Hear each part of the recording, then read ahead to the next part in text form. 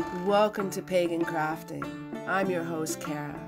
In today's video, we'll be looking at low budget handmade DIY items, either sourced free from nature or acquired at a very low cost. During the holidays, handmade and personal gifts can spread magic and love. It can add that special touch so I can spread a smile on someone's face. In each of these gifts in today's videos, you can use all year. I'd be sad to know my gift was in a box in the basement waiting to come out till next Yule, so I created ideas that will work for the witch in your life through all the seasons. This time of the year can be so stressful. The media, the stores, consumerism, how much they push spending at Christmas. They forget about the traditions of Yule, getting together with family and feasting together, games and stories, or sharing that handmade personal gift, crafting, painting, designing that gift for the loved one that warms my heart to no end. I pour my love and energy into the gift, whether it took me all year round or just an afternoon to make, and be well received, I'm sure. Join me today with 22 witch ideas. Stay tuned to the end to find out my number one choice and the favorite idea that is for the witch in your life. Now, one of my favorite gifts is if you dry all your ingredients. Here I'm using fresh oranges, but dry your oranges, hydrate them, dehydrate them, or bake them in the oven. And then you can use a mason jar and put all the dry ingredients inside. One thing I'm missing is one of my favorite ingredients, and that is cranberries. They're not in season when I made this video quite yet, but they will be very soon. Lovely simmer pot gift ideas and mason jars will be such a warm thought. They'll think of you while their house smells so divine. Oh, you can almost smell it through the camera. now to back up with your simmer pot, you can add a sigil spoon, wooden spoon gift idea too. I designed this sigil and it says, bless my cooking. It's something so easy. You can dress up the wooden spoon with a gift card and a big fancy bow and you can also attach it to your mason jar. And that was something that again they could use not only just through Yule but throughout all year round as well.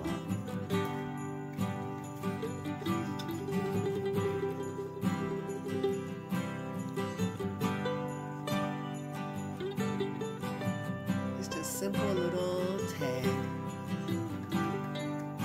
Bless my cooking. Now, every witch loves candles, so what is really cool to put all the meanings of the candles with the tag. Even if they know it's just fun, it's a little personal, shows that you took a little extra time.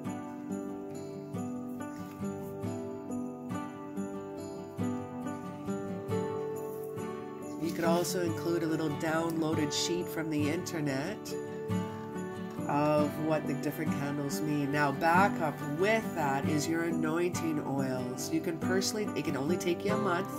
You can make oils for each of the moon phases. You can also make this little wooden box. I have a video on how to make that right here. And that is just Mod Podge and transferring the design over. Now we have witches runes, of course. I like this one because I use actually the circle to make the eye. You got to go with it. The witches runes are so easy to make. You can get these little online or at the dollar store. You could also include a witches runes meaning sheet. I found this one online. I, I just trimmed it out and printed it out.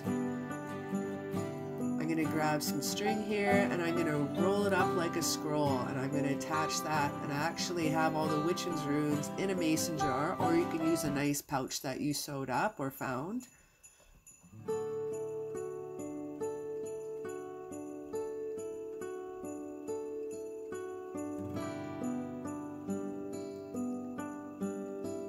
Witch's runes are a great little divination tool for that lovely witch in your life. I'm sure if they don't have a set, they'd be dying to have one that was a handmade one by you.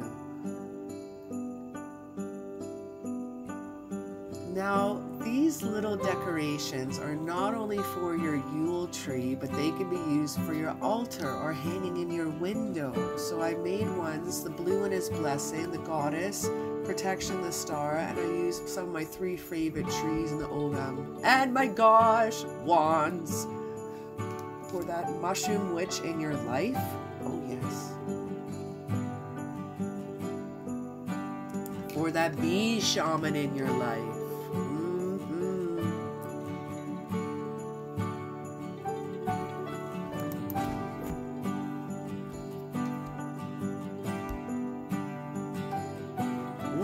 Water witch in your life. Maybe a blue wand is in need. A nice quartz crystal at the end to amplify it. Or maybe for that fairy or princess witch in your life.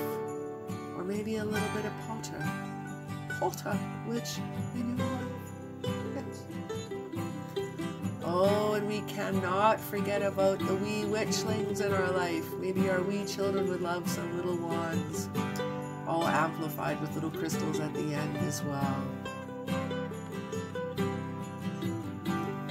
Ooh, and my favorite to do for my friends, I have three smudge blends that I've created. And I love sharing these ones. This is a four Sacred Directions blend. A North American blend.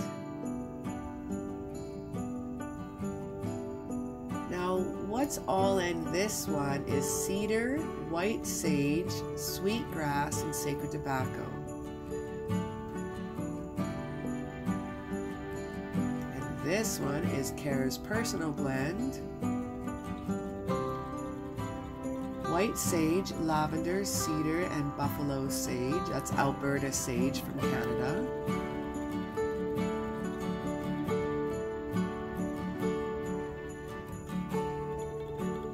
This is a three P's blend protection, purification, and profit white sage, lavender, and peppermint. And don't forget to add a little bit of coal for your friend to be able to burn your lovely blends on. Crystals! Oh my gosh. Every witch needs crystals. I don't know why, but we do. It amplifies. It's amazing. I'm addicted. That's okay. I've even created this little crystal kit for new beginners here, a little starter kit. You can find this on my Etsy store. I put a little note in there that tells what all the little different stones means and what they're good for. You can also design a personal mojo bag for your witch in your life. This is so well received. I love giving getting giving sorry mojo bags this one here was given to me and it was so special it was for success in my business, and I thought that was very, very sweet of them. Now, everyone needs a moon calendar. You can find these online for free. You can find many on Etsy that are elaborate and gorgeous, which I have a couple in my cart. And a little moon water reminder if you want to put that on the tag probably spelled that wrong. Don't judge.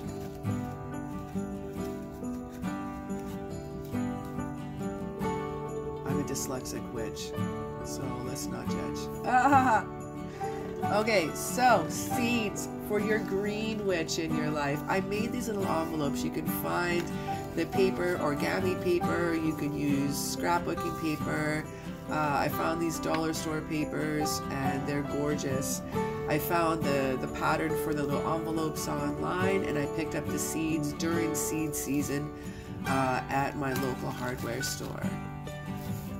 You could also, which I do as well, I keep many of my own seeds. So I share my seeds with my friend. My, my friends and I do a lot of seed swapping. So it's a really cool time of the year to do that. Now I keep the bigger tags uh, for when I give my own seeds. I put when to uh, sow it, when to do all the goodies, when to seed it, when it's going to sprout, when to, to, expect it to come in, what time of the year to uh, plant it, all that kind of good stuff. Now, this notebook, surprise, was actually painted by me. Look, there's my name, Cara Aisling. If you would like to get this notebook for the witch in your life, I in the link down below is an Amazon link to this book. Super inexpensive. just a notebook that you could use for a little on the go book of shadows or a journaling book or especially a dream book. It's always nice to have a little bit. I picked up this super cool multicolored pen at the local little craft store, dollar store. Added that to it, and it's a nice, very, sweet gift.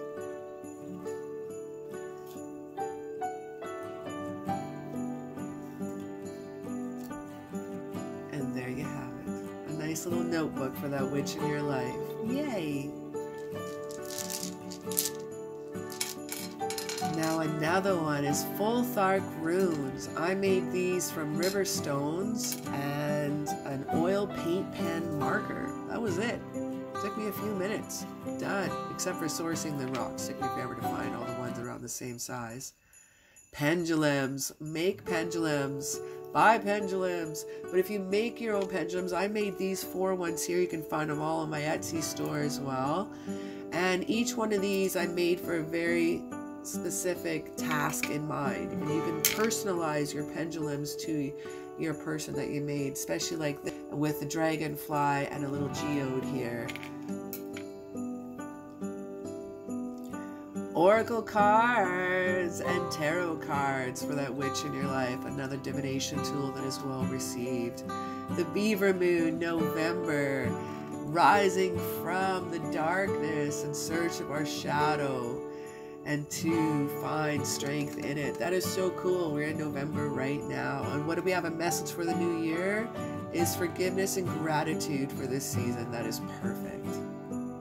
The Oracle and Tarot cards being probably the most expensive gift out of all these gift ideas. Now let's move forward to the Besom now, a mini altar broom. The mini altar broom would be so welcome by all your friends if they don't have one. I think it's a great tool for the altar and it's a very beautiful personalized gift. Mini spell jars with little sigil, with some charms, with some ribbon. I also have some wax stamp seal. I like to drip on it to make it a little look extra cool and witchy. There's no reason for it. I just love wax. I love playing with wax. That's okay. So, moving on to the next one here. You can always dress up this one I made it a little bit more ornamental. Uh, but you can always dress up sage sticks with rose petals, with lavender, with rosemary, eucalyptus. I'm using cedar here as well as you can you can burn cinnamon sticks too. This looks huge, but it is just ornamental witch balls. You can make them all year round. This is one for protection for my home and blessings for my home. I have anything from rose quartz to bay leaves to moss in here. Uh, you name it. Amethyst. It's in there. Lemon, oranges.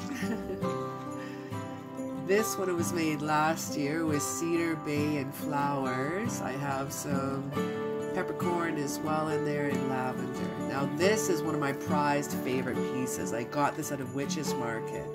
A simple feather, a jawbone, some bones, some skin shed from a lizard. Why not? It looks so cool. She sold out. I lucky that I got one. I'm so stoked with that one. I'm going to be making more of those. Now, for the finale, for my favorite one. What is it? What can it be?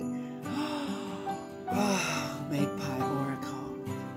Little bone thrown, a little bit of charms, a little bit of fun. Everything has a little meaning. You could give the bones as is. They can create their own meanings on a sheet, or you can also include a sheet too that but I would prefer for you to let them write their own meanings as how would they how would they interpret it and resonate with it. Well, thank you so very much again for joining me today. As always, it's a pleasure hanging out with you.